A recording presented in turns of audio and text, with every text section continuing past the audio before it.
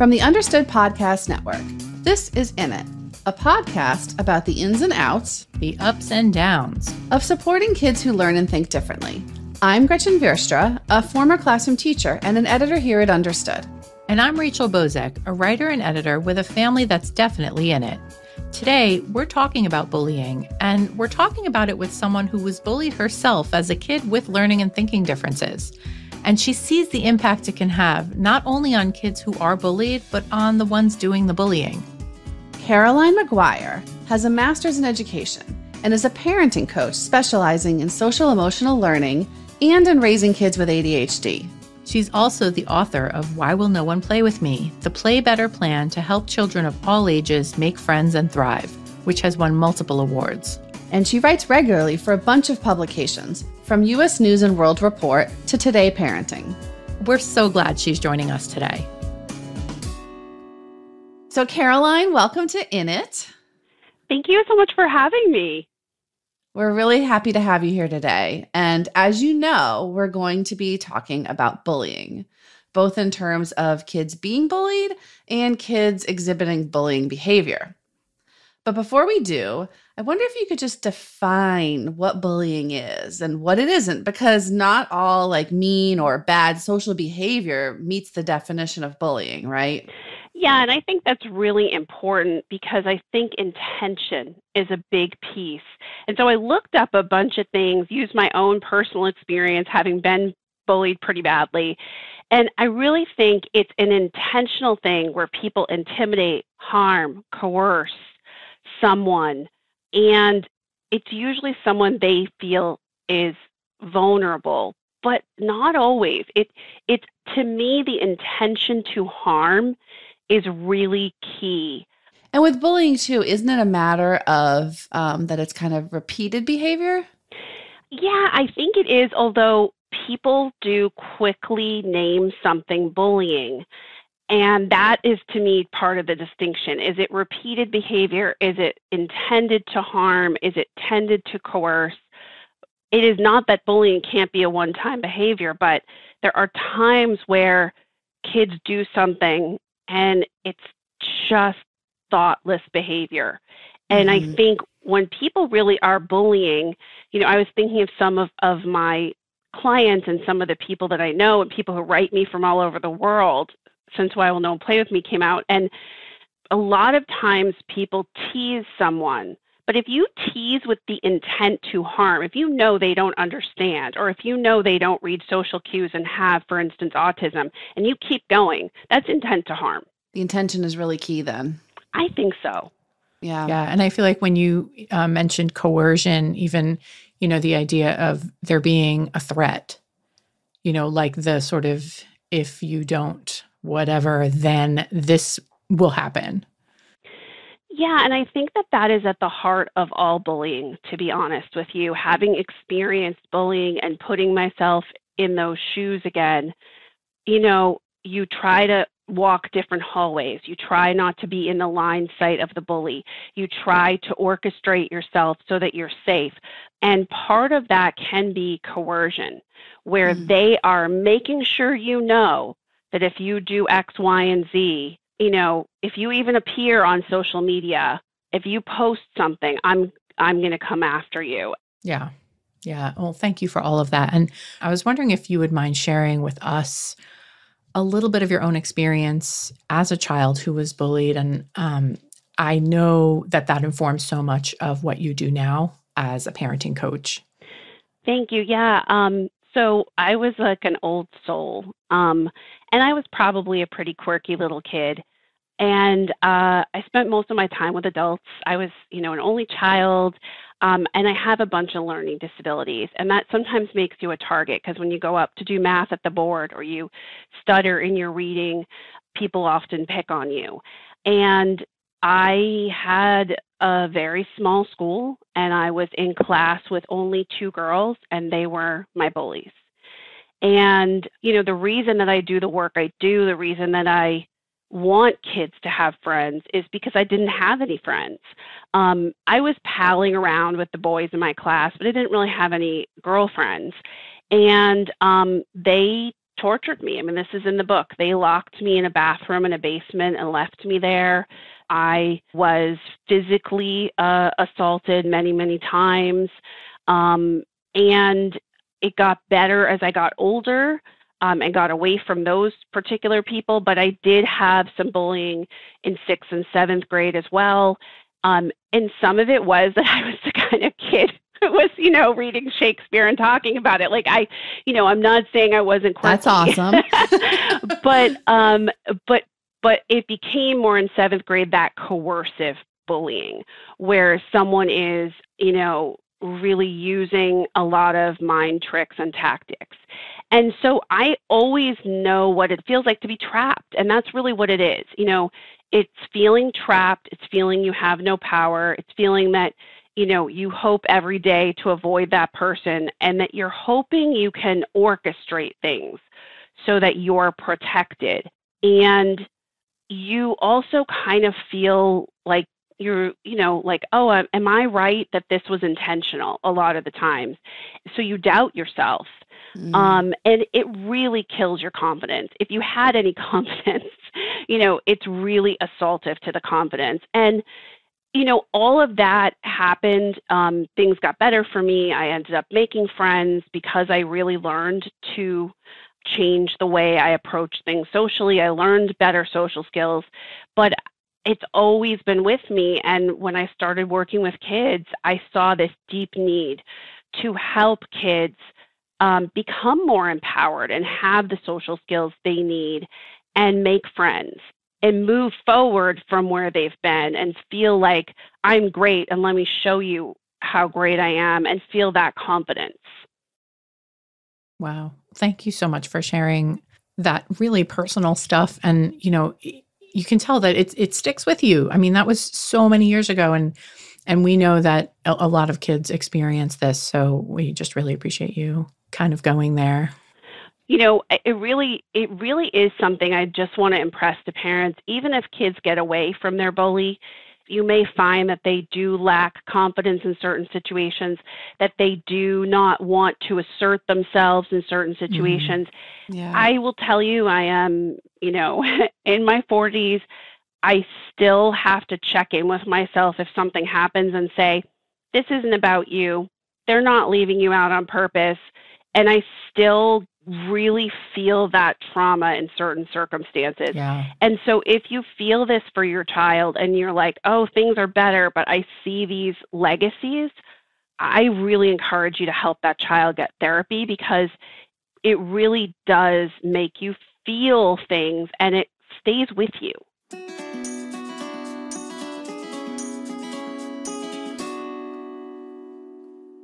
As you know, this podcast is for families with kids who learn and think differently. So, can you talk a little bit about why, in your experience, those differences might make a child an easy target for bullying? I think learning and thinking differences play into bullying because there's a lack of understanding from peers that sometimes kids are unable to do things. And to understand that people are struggling and therefore those struggles sometimes make us the target. Um, I think the environment has a profound impact. The, the leadership, the coaches, the educators, in terms of how they ignore or foster um, a culture of acceptance, a culture of empathy. Mm-hmm. And, you know, all the research bears this out that if we do peer sensitivity training, and if we at the top, as adults, foster that, it is much less likely that kids with learning differences will be targeted. Mm-hmm. Um, and I think that's important as parents are looking for solutions to know like there there are solutions and part of it is that peer sensitivity training. Yeah. Yeah. And then what about the flip side? Is there ever a case where we've seen that learning differences and being a bully might come hand in hand sometimes. Absolutely. So, you know, I work with kids who are labeled as the bully. Um, I have incidents even this week where kids did poor self regulation stuff, you know, not the smartest move stuff, stuff based on their own learning profile. And those mistakes were very quickly um, labeled as bullying. And I think, you know, we have to remember the bully, the bystander, um, and the victim, they all need help. Right. you know, and so sometimes kids become bullies because they make silly mistakes. Sometimes their executive function, the management system of the brain, their self regulation is very weak. Sometimes they turn to bullying because of their own emotional state, their own feelings of insecurity. And that can stem from our learning differences, from the fact that we're frustrated to be the only one who can't read. We're, we're left behind. We're embarrassed. We're mocked. And therefore, we, we turn to something that is not necessarily what we should do, but it stems from these emotional needs bullies I, I i'm not saying this like if you're listening and your kid is being bullied you're like oh my god she took their side. But it's important to know that bullies have emotional issues. That's why they do this. Yeah and we wanted to share with you a, a voice memo that we got from a parent whose child has been in both of these roles and kind of on both sides of this uh, bullying coin, having been kind of the recipient of bullying behavior and also been the one delivering it, right? Um, so it would be great if we could listen to it and then maybe we can talk about it um, if that sounds okay to you. Absolutely. All right, let's listen. One of my daughters is diagnosed with learning disorder, specifically in math. She's also had learning difficulties, um, receiving several special education services, as well as speech and language therapy. On a regular basis, her challenges include just processing language and how she understands what people say and how they say it. Um, so when she was in elementary school, she was very heavily bullied. She was um, very thin. She's always been very thin. Um, so she got bullied for that. Also, because sometimes she doesn't understand what's being said to her, she gets made fun of or called stupid. She's always, always wanted to have friends and she valued friendships, but she struggled to have friends in elementary school. Moving on to middle school, she then had the opportunity to make friends, which she was very excited about. And I think that just wanting friends um, led to her just accepting any friends and the friend group she was in was very toxic. And then i found out i think it was that summer that she had become the bully. So there was a message uh, exchange between her and one of the girls in that group that the mother had sent to me. And it got to the point where my daughter was saying very mean things to the girl. Um, they were going back and forth but i was very surprised at how mean my daughter was being. So constantly being considered dumb she then turns around and tries to compensate for that by treating others like they're less than her um, in, in certain situations. Not all the time, but in order to feel like she can have some control over the situation. You know, it's hard as a parent to know that that is your child and that your child is capable of that because you try to raise them to be kind and diplomatic and all these things. But at the end of the day, they are their, their own personalities and experience influence who they become. So it's definitely a a grueling process, and parenting is super difficult. Um, and it's interesting how different each kid can be, but I'm hoping for the best for her. Well, first off, I just want to thank that mom for sharing her experience with us. We really appreciate it. And Caroline, we know it can be incredibly distressing for a parent or caregiver to learn that their child has been bullied. But as we can hear in this mom's voice, it can also be really distressing for the parent who finds out that their own child is doing the bullying. How should we react if we get that call from school or camp or wherever saying that our kid is doing the bullying? Because I'm guessing our first reaction, yelling or freaking out or maybe grounding our kid for six months, is not the best reaction, right? So I want to say that I totally understand. And if you do freak out, it's always okay to say, hey, I reacted and I was upset and I know I said some things but now we need to move forward, right? So if, if a parent is listening and they're saying, last night I did exactly this, we, you know, the best thing to do is first to gather information. So in many cases that I've been involved with, kids have done things and have either turned to bullying, you know, like in this this voicemail, or they have done something. And there's often a lot of nuanced information that we need. And part of that information helps us help your child, right? Mm-hmm. I also would say that if your child is being accused of bullying and they are on any kind of independent education plan and mm-hmm. self-regulation and other factors are part of that that mm-hmm. the school has certain things that they need to do because in many cases this is to us a wake-up call that the child who is being accused of bullying does not have the skills and is having an emotional reaction and doing things that no are not a good choice we're not happy about this but before we just punish, there's a real opportunity to intervene with new skills to get them emotional help and therapy and to also get the full story. Um, and I say this because just this week, I had a, a person do something where they knocked they knocked into something, they knocked it over, they were being too goofy and silly and were immediately accused of, oh, this must be intentional. And it wasn't intentional, right? It was poor self regulation.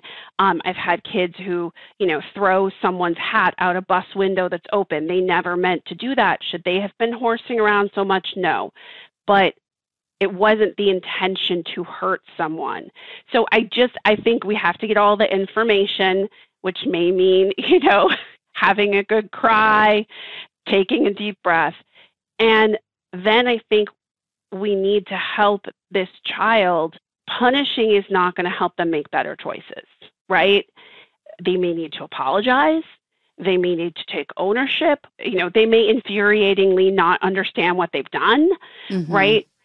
But kids, especially kids with poor self regulation, make poor choices. I've had kids post things on social media that got other people in big trouble. And the parents were like, why would you post that? Well, because they didn't think, they didn't pause, right? Right. They didn't realize the consequences of their actions. If you post someone with a BB gun on social media, the police might think it's a real gun, right? Like there's all these factors that come in. So I think like with this voice message, um, there was so much information here about this child's past, about her struggles, and about the fact that this is a real opportunity to give her the help she needs. Yeah. Yeah. Yeah. Thank you for all of that. And, you know, one thing I've heard uh, just from teachers and hearing about stories like these on the information piece that it's there's always another piece of information. Like there's always like, well, what happened right before that? right. and what was the last thing that happened before that? And none of it is saying that the response was okay right. at all. But it, it has helped so much in, in situations I've seen and, and some that I've gotten the call on where it's like, well, what were that 30 minutes or so leading up to this like for you and for the other kid or kids who were involved in whatever the situation was? And that is usually so telling. It is usually so telling. And I think to, you know, look, I've had kids who were horribly bullied that I've worked with. They call, the parents call the other parent, and the other parent says something horrible like, if your kid wasn't weird, they wouldn't be bullied, right? Mm. So I'm not saying, like, if parents are listening and they're saying, I called, you know, the bully's parents, I tried to act with empathy, I try, I get it right? It doesn't always get the response.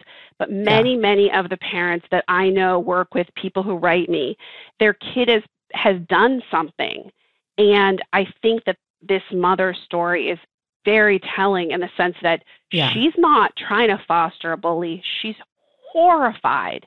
But she's also now dealing with a situation where a kid who was bullied herself felt she had no options, has, uh, you know, learning disabilities, struggling herself, has now made choices there's a lot of people pleasing in this story because the child felt she had no options. Mm-hmm. And I want to say that to parents that, you know, everybody wants friends. So if we find our child feels they have no options, that's that's why I do what I do to try to help kids learn those social skills so that they can find a different group of friends. And just telling them you have options doesn't really create those options. We may need yeah. to remove them from the situation. We may need to empower them with skills. We may need to um, figure out how we can make them safer. Because just saying to them, don't let people treat you that way, pick different friends, doesn't allow them the opportunity. They have to go back to school tomorrow and they have to sit with someone. They have to partner with someone in projects. We're so into projects nowadays. Projects make lonely kids aware of their loneliness more. Mm. Yes, and mm-hmm. it's so stressful if it's like find a partner and you're like, "Oh, I'm I'm the kid without the partner." Right, right, right. right. Ugh. That's yeah. even stressful, like for grown-ups. I know it is, and they're like, so "Find stressful. a partner." I'm like, "No, can you just tell us who to work with?" Yeah, and, and and that's what maybe we all have to remember too. We can learn as adults to not set up these scenarios. Yeah. So you know, still getting to the story of like kids who were bullied or and then become the bully or just kids who are bullying themselves whether they meant to be in that position or not um, is repair a meaningful part of this process so is part of the process getting the bully and the kid who's being bullied to work it out, or is that not a good idea? I think it really depends, and I don't mean to be annoyingly vague, but I think that the repair can be part of the process. Um, I did have repair, by the way, from one of my bullies, and mm. um, I guess it, it was good, you know. Mm-hmm. But I think um, I think in some cases, if if the bullying wasn't intentional, right? They threw the, the hat out of the bus window they knocked something over they they accidentally hit someone because they were being too much or they were goofing around. Um, if if that's possible then i think repair is absolutely important right? I think in some situations we as adults don't know what to do. And so we put these kids together and we say work it out. And in some cases, the kids don't have the skills. I mean, I firmly believe that the reason some kids do certain things, the ghosting, the breaking up with people, is that they don't have the emotional skills to have those conversations. They don't have the emotional skills, like in the story that we heard, to say, I don't love the way you're handling this. Mm-hmm. In, they post stuff on social media with intention or not, and they don't handle it well. So to just stick them in a room and say, work it out, I want the adults to facilitate and I want to make sure we're not putting someone in an unsafe situation. Right. Because I've seen this, by the way, where we put the two kids in a room and the victim comes back to me and says, Yeah, you know what they did? They whispered to me, Your life's going to get really awful now. Right? Mm. So we have to remember like the circumstances really matter. And and some kids are just mean, right? And they're they're not going to do that repair. Yeah.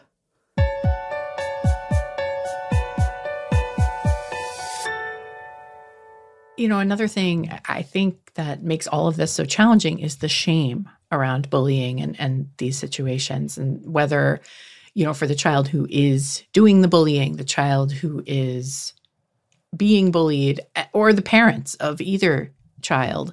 So do you see that? And and if you do, how do you tackle that? I I do see the shame. Um, you know, developmentally, teenagers are supposed to have friends. This stage is to assert themselves, have their peer group, and there's a lot of shame involved in being a person who doesn't have friends, and there's a lot of shame involved in having been bullied. Um, there's also this misnomer that we as human beings always have where we believe we're the only one. Right. right? And so there's so mm-hmm. much shame for the person being bullied because they feel othered. They feel if I wasn't, you know, unworthy, then no one would do this to me. Right. Mm-hmm. There's a lot of self esteem issues at the heart of this, a lot of confidence issues. Parents often ask me, when someone is bullying their kid, why can't their kid respond differently? You know, why are they letting this happen to them? And I'm like, the, the responses you're wanting require a lot of, they're an adult perspective and they require right. a lot of confidence. You know, to turn to someone and say, keep talking and I'm not listening to you or something. Right. I read these things in, in articles and stuff and I'm like, oh my God, this is not something I, I would ever have said. you know? Right. Um, and then there's shame on the part of the parent and the person if they do bully, if they do turn to this and they've, you know, maybe even been a victim and then turn to bullying. There's a lot of shame there too. Yeah. I think you're so right, though, about uh, we adults sometimes our ideas of how kids should respond. It, we're forgetting Yeah. what it's like to be a vulnerable kid who has doesn't have the self confidence to say, "I'm just going to walk away from you and not listen to you right now." You know, that's hard. Right. I can't even get my kids to do that with each other. Yeah, Just walk away. Right. Yeah. Right. And and I think we have to remember there are kids who do that. You know, are, the yeah. bully if the bully really intends to harm, right? Then they are seeking the people who they can harm or they are testing people out. And so they may have said that to someone and a kid was like, you know, keep talking or walked Right. away or did whatever. But it's usually a situation where that kid has self-confidence. Yeah, And they also may have a circle of friends protecting them. They may feel that they Yeah. are, you know, they may be, you know, have something else that allows them to feel that empowered. right, Right. Like that Yeah. safety in numbers feeling. Right. hmm Well, speaking of another challenge of young people, um, social media, this can make it this so whole situation so much more challenging, and things can escalate so quickly. And then you've got this permanent record out there, right? For anyone to see this this footprint on the media there. How do you help kids navigate this minefield? So I really believe that we need to start having um, not just discussions with our kids about social media, but we need to start holding classes and things to teach them at a younger Yeah. age when they're more receptive, not you know 11th grade or something where they're they're going to just mock it about pausing and about digital literacy and about the consequences. I see so often situations where, you know, kids are taking photos of each other in a locker room, Mm, incredibly inappropriate, but they probably just don't realize, right? And it's that lack of knowledge, it's dangerous at this point, though. yeah. Um, I think we need to talk about things with our kids, and I think we need to not pounce. We have to have that bond and that relationship with our kid. And if you don't, then it can be repaired, it can be built. And we need to talk about things in terms of them understanding this footprint and that it's out there and learning to also not put everything out there. Yeah. I mean, I feel like some of it too with social media is how, at least I've seen this in my own house, is how kids read each other's messages. What the, they might read intention into something or they might just misunderstand something because it's all just words in a text sometimes in all caps because that seems to be the trend with young people even though i'm like doesn't that mean you're shouting but they're like no that's not what it means it means excitement but i feel like sometimes that could be a, challenge too right Yeah, and also like if your kid doesn't read between the lines, that's also Mm, a challenge, right? So a mhm. lot of our kids with learning disabilities don't read between the lines. And so they don't understand the message. Reading it aloud is actually a great way to help them understand the intention behind the message or the sarcasm behind the message. Um, and I think there's often a lot more vulnerability for our kids in terms of what they're putting out there versus their actual cognitive ability to handle the decisions they're making. Um, and I think, again, I don't think they have the skills. Yeah Yeah. exactly So, switching gears, what should a parent do if they think their child is caught up in a bullying situation, but the child isn't talking about it? How do you bring that up in a way that might get them to share with you rather than shutting them down? Well, the first thing I want to say is um, we have to, as parents, not pounce. Mm, right? It should be very short little conversations it should not be us invading their space when they're trying to do something or they're doing their homework or they've, you know, they've told us, I can't talk today. I've had a very long day. I have to get this done or something. And often what happens to us as parents is while they're at school, our anxiety is building.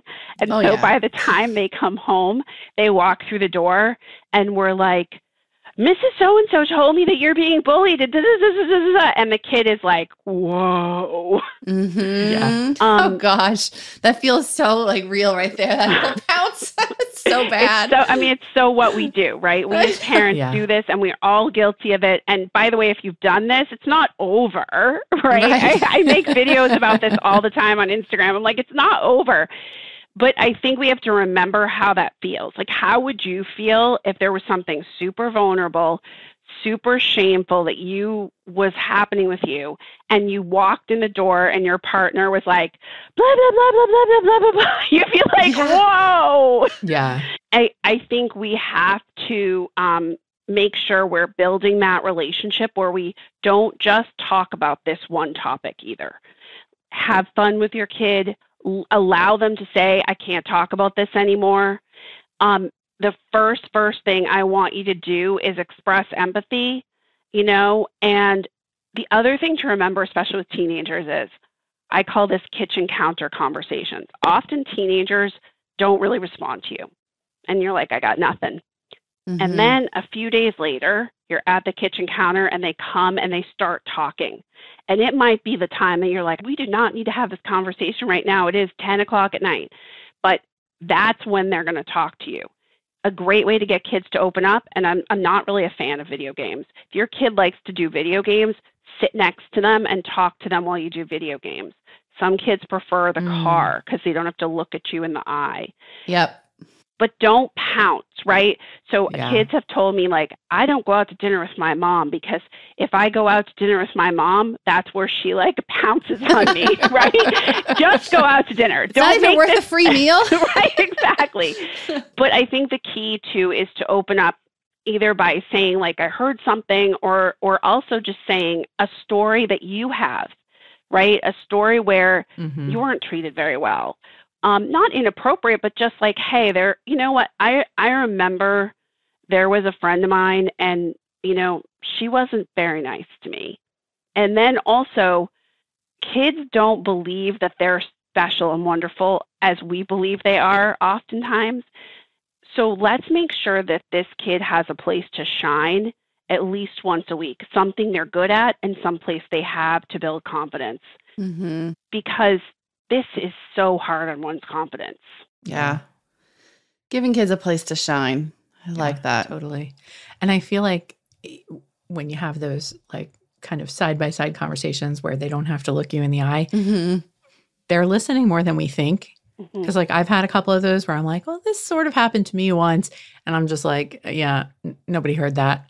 And then like a month later, it'll come up in some completely unexpected context. And it's like, oh, is that kind of like that time you were telling me about? And I'm right. like, what? You heard me? Yes. So, yeah. yeah. And I think it's important for them to know that we're not going to pounce, we're not going to overreact, that they can tell us something. Mm-hmm. And, you know, one of the big things about resilience research that shows I think feels true to me is that kids feel empowered and resilient when they know one single adult in their life has their back and will help them solve a problem.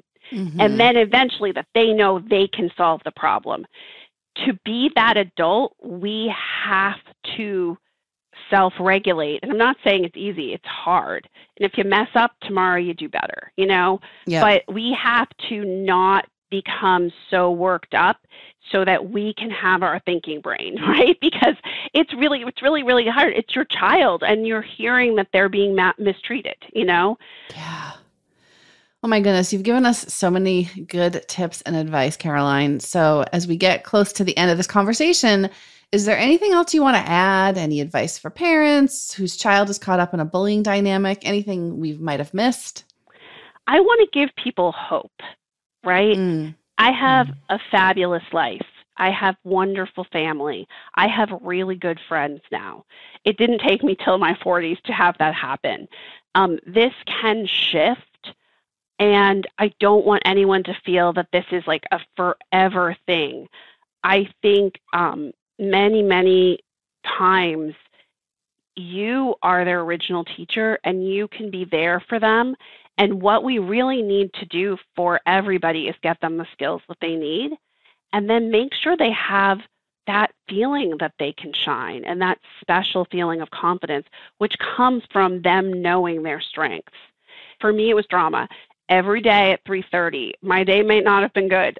I knew that I had that, and mm-hmm. it really does make a difference because you're in a tough situation. And I also want to say to parents, we all make mistakes. We all pounce. Like people may be like, "Oh my God, she said pounce," and I do that like every day. I do it, people. and I've I know I need to stop.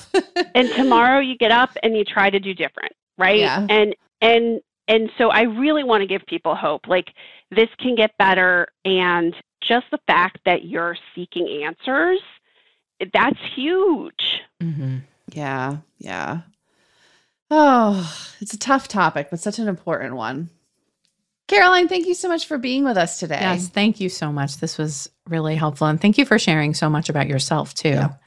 Oh, no problem. Thank you so much for having me. And I'm I'm so glad to share anything because it really helps somebody to know that somebody else has been there and things worked out. Caroline's book is called Why Will No One Play With Me? You can find out more about her work at carolinemaguireauthor.com.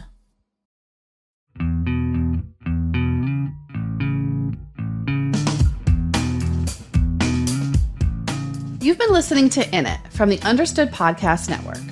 This show is for you, so we want to make sure you're getting what you need. Email us at init at understood.org to share your thoughts. We love hearing from you. If you want to learn more about the topics we covered today, check out our show notes. We include more resources, as well as links to anything we mentioned in the episode. Understood.org is a resource dedicated to helping people who learn and think differently discover their potential and thrive. Learn more at understood.org/mission. In It is produced by Julie Subrin. Alana Milner is our production director. Justin D. Wright mixes the show. Mike Errico wrote our theme music. For the Understood Podcast Network, Laura Key is our editorial director. Scott Cocchiere is our creative director, and Seth Melnick is our executive producer. Thanks for listening. And thanks for always being in it with us.